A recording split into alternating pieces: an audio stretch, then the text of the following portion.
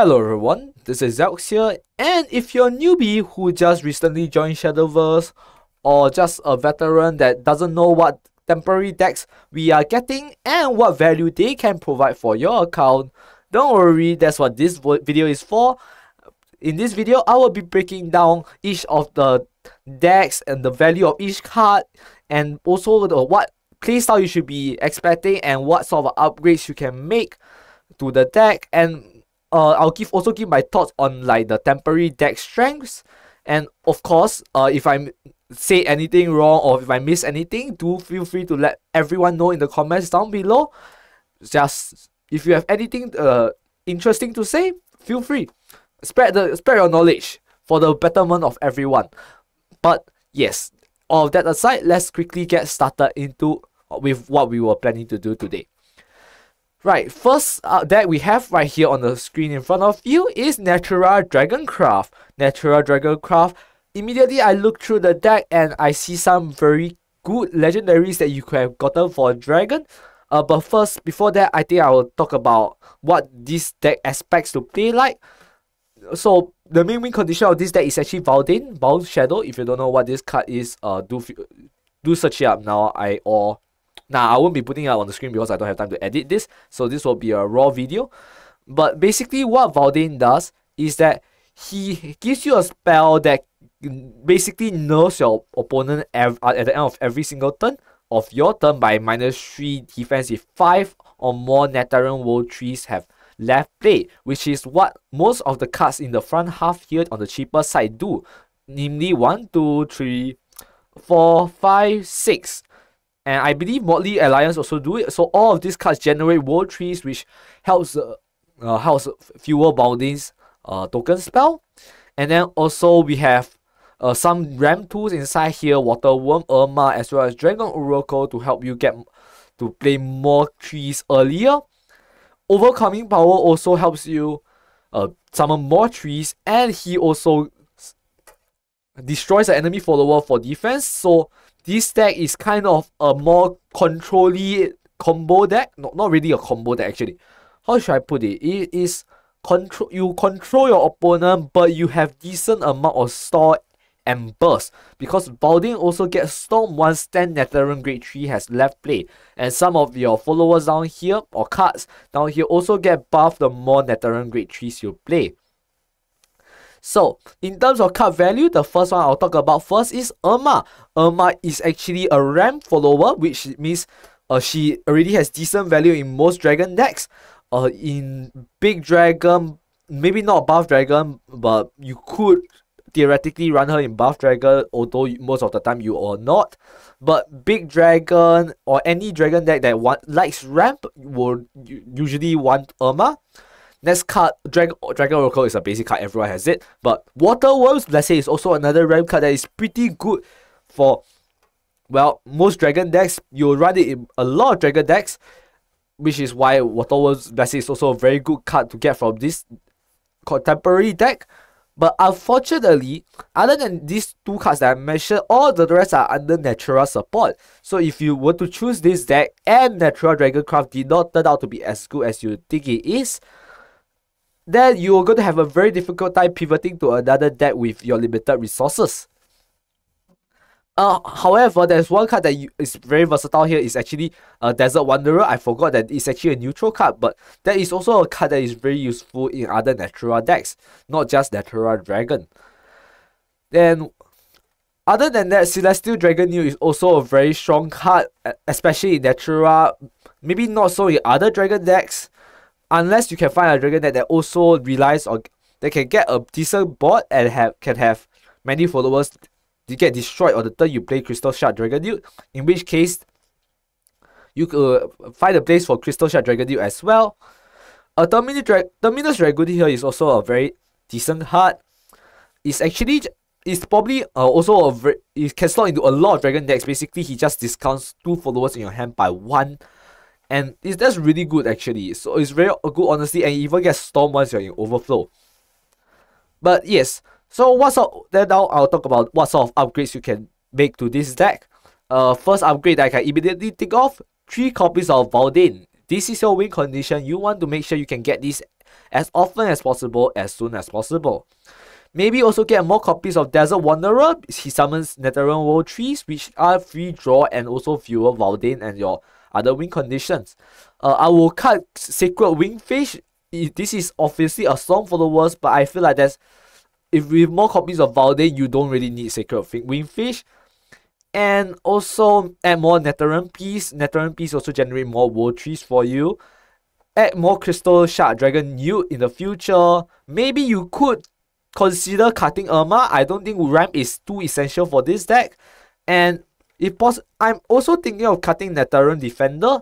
Uh, in my opinion, this card isn't as good, but do take this with a huge grain of salt. I'm recording this before the expansion went live, so who knows, everything could change. I could be wrong. Naterran Defender could be an amazing card. It, I mean, it is also a Storm Follower, which you can pair with Valdane.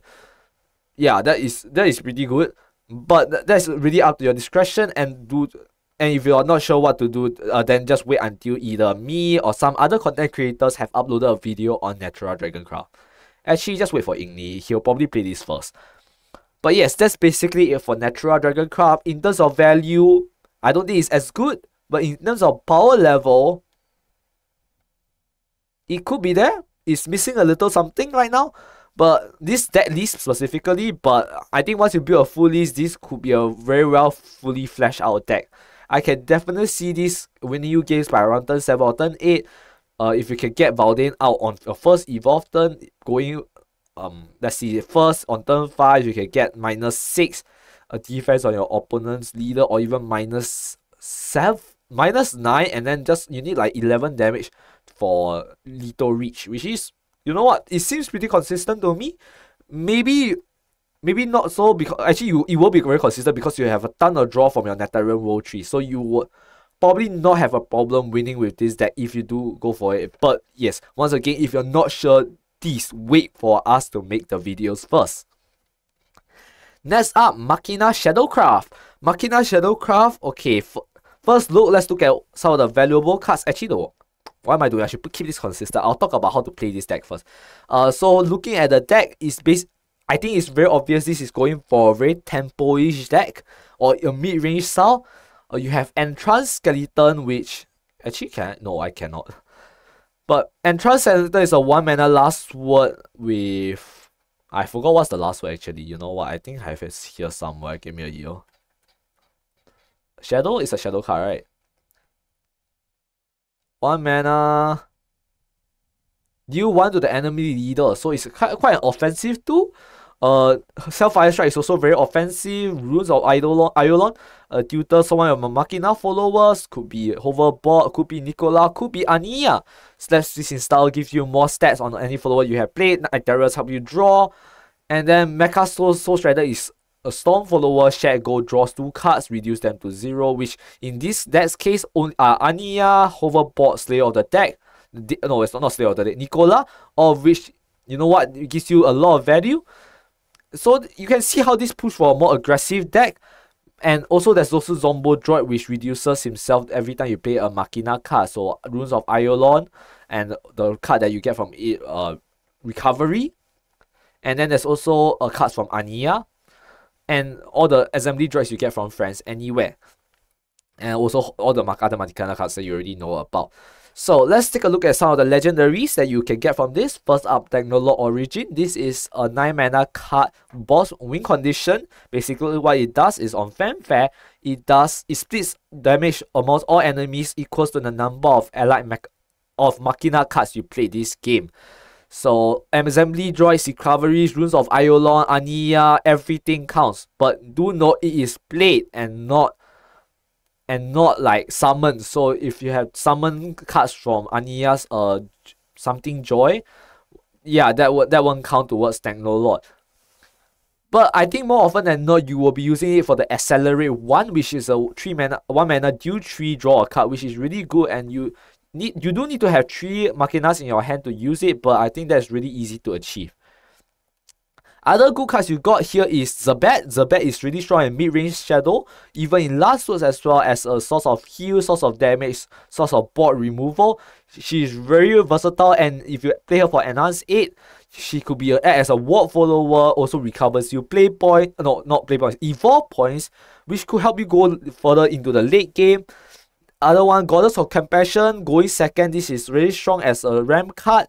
Uh, you can use it to fuse away one uh, card that you don't really need and you can ramp or if you can fuse two uh, different card neutral or spell cards. And this becomes Goddess of Condemnation which heals 5 increase your max hit point by 5 bring you out of little reach of most decks so um, that is really good. And the last one is Ania Amethyst Creator. This is a Machina card, so you only can only run this in Machina decks. I don't think actually you could potentially run this outside in a shadow deck because it does generate two shadows. So because she summons something else and she also draws a card replaces herself, so there is a potential for you to play her there. But overall, looking at this deck, I feel like it's okay, it's decent, it's coming together, but some changes I will I'll talk about the upgrade options first. Uh, three copies of Techno Lord, three copies of Ania. Uh, I might cut Corners of Compassion. To me, ramping doesn't seem necessary. And if you're going to go for you, you probably won't survive to Techno Lord uh, turn even if you play for uh, Goddess of uh, Condemnation, which is a shame. Mecha Soul Strider doesn't actually uh isn't a cheap follower as well. Honestly, I might I'm considering swapping him out for something else. Maybe more uh, maybe just cut him completely so Runes of Eidolon will guarantee either uh Hoverboard Speedster, Nicola or Ania instead of potentially drawing you a Mecha Soul Strider. But then again, who knows? Uh Another card that I might be consider adding in is actually the who's the the Shepherd. If you the Necro Shepherd Lubel, I think that that card could actually see play in this deck. Uh, let's see what will I replace. I will replace Entrance Skeleton. I will replace Let's Feast in Style with three copies of Attempt as well. Two copies of Attempt actually. Two copies of Attempt, three copies of Lubel the reason why is Lubel is actually a Shadowcraft legendary that can put two play point cards into your followers into your hand, which could give you Ania, Hoverboard, Slate, actually all all the all the cards down here, and including assembly droids as well, which you could also play to uh, further fuel Technolord Origin, which I think is a lot better than Zebat, although Zebat does give you heal, which uh, funnily enough, Lubel also give you heal as well, so you know there's even less reason to run Zebat. And if you're worried about evolve point recovery, don't worry, friends anywhere can also recover you evolve points. Another card that maybe I'm consider cutting is actually Slays of the Deck, but this one will have to look at how consistent this deck draws and well how mid-range tempo this deck could be. After all, if you can get if you can get I think the main goal of this deck is to get Ania's uh fanfare effect active on by turn 5, so that means you will have to play at least 8 at least eight uh, Machina cards before turn 5, two cards on turn, two Machina on turn 5 into a Ania, and that will be her effect active, and I think that will be very strong.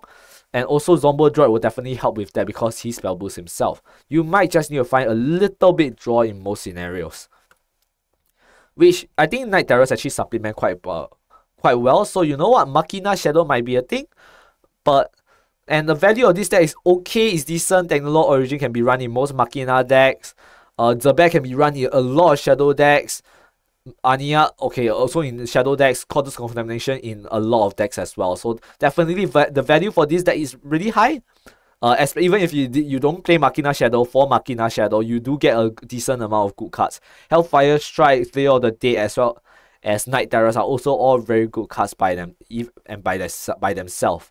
So yes, do if you're looking for pure value, do keep an eye on Machina Shadow, just from the value of some of the cards. So you get two net neutrals after all. But in terms of strength, meta strength, uh, I'm not sure. This is obviously very um let's see, mid range.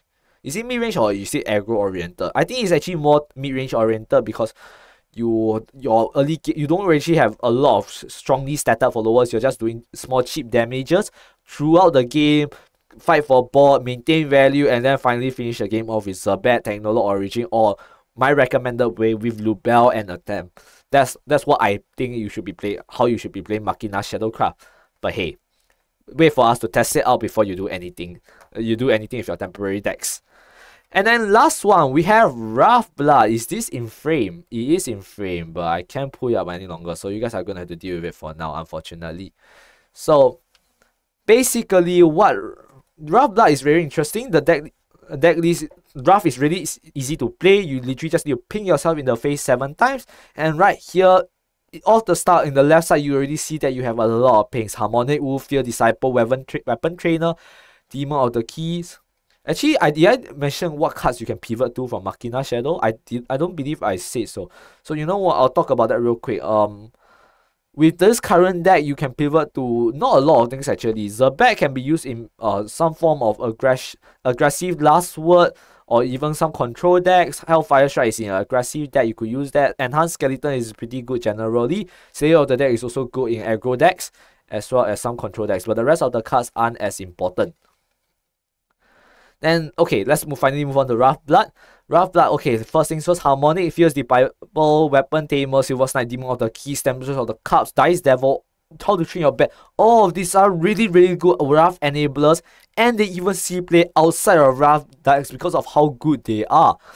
Elena is here because she can get you Urias, which is a very strong wrath win condition as well. Diablos is also a strong wrath win condition. Asura Curie is a draw 2, heal 2 if you're going second.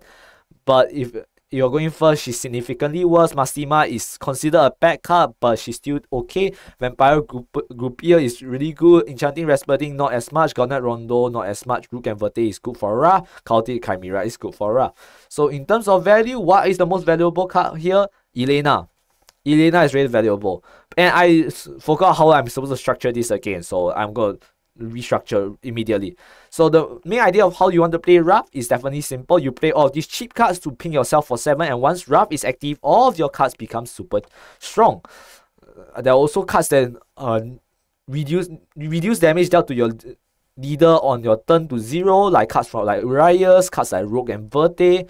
These cards uh, will help keep you healthy despite all your constant self pings from all your followers. Garnet Rondo is like 3 that 3 mana deal 4 to the enemy leader and 4 to your enemy board as well, so that's a decent card. And yes, that's basically so wrath blood. You want to play very aggressive, aggressively play all your followers is definitely a lot more aggressive than Machina Shadow, and I think a lot more fun to play you are also playing with fire a little bit because you're lowering your health hit points in, in exchange for a lot of payoff. Like cards that you very valuable cards here, and now I talk about the valuable cards. First up, legendaries, Elena. Neutral card, you're probably is really good because she gives you a lot of options and you can slot her into a, literally any class. Except maybe Haven. You might not want to slot her into Haven even though you have the option to. She's very versatile. She's very I think she can enable a lot of different shenanigans by bringing back all the original 8 heroes for each single class. So that is definitely a card you want to be on the lookout for. And then next one, Diablo Sidone is really good in not just Wrath Blood, but also in uh Aggro Vengeance Blood, which is a I think it's still a deck because yes, Galome and the gang is still in rotation, so that is still a thing you can do. So Diablo Sidone is a very strong 3 mana card that wipes the opponent's board, so you definitely have to look out for her. Rogue and Verte, as she, she's good, but mainly a Wrath only card, and so is Chaotic Chimera Wrath only. So how do you how will you I go about upgrading this deck? First up, three copies of Elena, three copies of Diablos, three copies of Rogue Ver- two copies of Rogue Verte, three copies of two copies of Chaotic Chimera definitely get at least get Elena and Diablos first. These cards will are very important. Elena giving you Urias, Diablo Sidone is a very strong board clear. Uh, cards you might want to consider cutting, maybe Temptress of the Cups, maybe not. Uh, she's okay after all. And also Asuka and Shuri, you don't really need a draw. And also consider cutting Mastima, Dark Temptress. She's not as good as uh, some of the other wrath cards out there. And also maybe consider cutting uh Enchanting Rasputin if uh if you find it too bricky and also like reduce the amount of cards you can play uh re- reduce the amount of garnet rondos you play. Because like one is very expensive and two it is three, is three, I mean it's three mana due four, which you might want to use the. Uh, you might have some better combos out there like what Diablos into Cultic is 12 damage for 6 mana but if you do Garnet Diablo is still 10 damage actually that's still really good. I like maybe maybe like keep two copies of Garnet Rondo it's not bad not bad at all. But yes that's basically Wrath Blood out and did I say how what you can pivot this to? I you can pivot this to aggro Wrath Blood you can pivot Elena into Necromancy Shadow resonance artifact portal. You can there's a lot of decks that you could run elena is in is definitely a very high value card. So if you really want to look for value definitely look at Wrath Blood uh, over Machina Shadow because Goddess of Compassion and Technolord Origin are more niche but, Elena is definitely like miles more versatile than uh, than Machina Shadow right now. All, the, the, the neutrals that are provided in Machina Shadow right now. And in terms of power how I judge this deck, this is definitely an aggro aggro-ish deck. You definitely have to play very aggressive with this. So definitely depends on your uh, play style and game choices. So in terms of which deck I would recommend new players to play, I think I'm going to have to go with Natural Dragoncraft for this one. Why? Wrath Blood is really expensive. You already, you heard about what I mentioned already, three copies of Elena, three copies of Diablos, two copies of Rogue Verte, two copies of Cultic Chimera at the very least. And that is already two for six legendaries you have to craft to finish this deck. But then I can definitely tell you that Wrath Bloodcraft is going to be very, very strong. Machina Shadowcraft, on the other hand, is still in a very iffy spot where I can't recommend it to anyone yet because I'm still in the process of figuring out like what how this deck will finish off games and how this deck will actually work. Although I do have an idea for it already, I don't think it's still a work in progress. So if unfortunately, even though I say not to if if you really have to pick one deck, pick Natural Dragoncraft. I think it's the cheapest. Three copies of Valde. You don't even need Irma. You don't even need Themyscira Dragoon. You don't. You may or may not even need Crystal Dragon. So this one only needs four legendaries to complete, and that is considered cheap in Shadowverse. And yes, that is basically it. My recommendations and my analysis of the temporary deck card list. If this uh, video has been of help to you, a new player or veteran, uh, otherwise, similarly or otherwise, then yes, do leave a like, leave a subscribe for future Shadowverse videos, and I guess I'll see you next time. Goodbye.